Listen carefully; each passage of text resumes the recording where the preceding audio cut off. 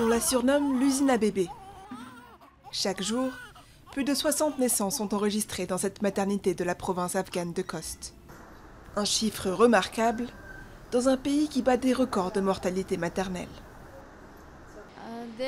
Mon premier bébé est né à la maison et puis il est mort. Cette fois, je suis venue ici parce que je pense que c'est mieux. Les autres hôpitaux n'ont pas d'équipement adapté et ne sculptent pas les patients comme il faut. Ils n'offrent pas de bons services aux patients. Ouvert en 2012, l'hôpital de Médecins sans frontières suit strictement les règles Pashtun.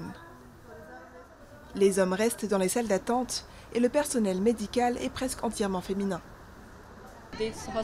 Cet hôpital est une grande chance pour nos femmes, parce qu'avant on avait un taux élevé de mortalité, et maintenant le taux est en baisse, et les gens viennent de plus en plus à la clinique MSF. Comme vous pouvez le voir, cet hôpital offre des soins gratuits pour tout le monde. Dans les zones rurales de Khost, certaines femmes continuent d'accoucher à la maison. Parmi les obstacles, la sécurité, dans ces territoires proches de la frontière pakistanaise, arpentés par les talibans. L'hôpital travaille avec les communautés locales et sensibilise les hommes sur la santé des femmes dans une société très conservatrice.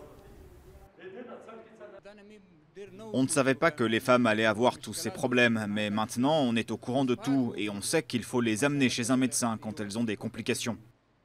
Avec plus de 400 employés, l'hôpital assure 4 naissances sur 10 dans la province, selon ses estimations.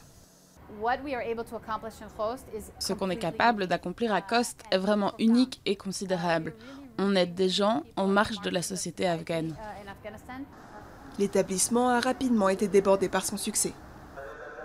Selon cette gynécologue, la maternité est bien partie pour passer la barre des 24 000 naissances d'ici la fin de l'année.